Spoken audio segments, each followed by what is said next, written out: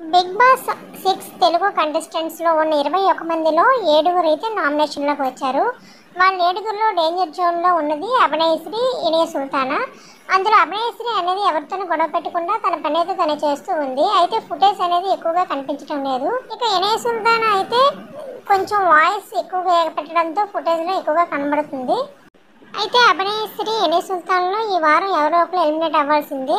Voting poll చూసుకున్నట్లయితే first ప్లేస్లో Revanth second ప్లేస్లో ఫైమా థర్డ్ ప్లేస్లో శ్రీసత్య ఫోర్త్ ప్లేస్లో చంటి ఫిఫ్త్ ప్లేస్లో అరో హీరో కనిపిస్తున్నారు.